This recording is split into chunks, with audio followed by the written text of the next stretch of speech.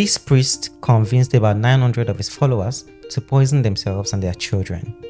According to reports, in 1978, when he was the leader of the People's Temple, he utilized techniques of persuasion, isolation, and indoctrination to maintain control over his followers.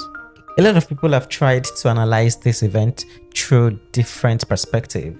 From a psychological perspective, the events at Jonestown can be understood through the lens of groupthink, where individuals within a group prioritize harmony and consensus over critical thinking and independent judgment.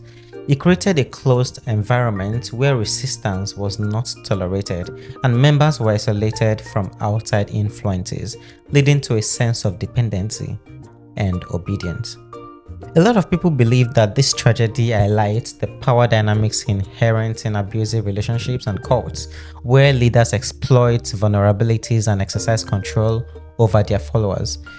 Jones' charisma and authority allowed him to exert undue influence over the emotional and psychological well being of his followers, ultimately leading them to participate in their own death.